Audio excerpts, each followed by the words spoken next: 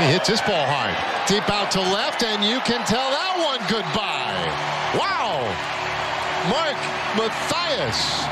He has found the power stroke. He's homered in three straight at bats. We might be checking another Ranger record with the night that Mark Mathias had last night and into tonight. Comfortable against lefties, but really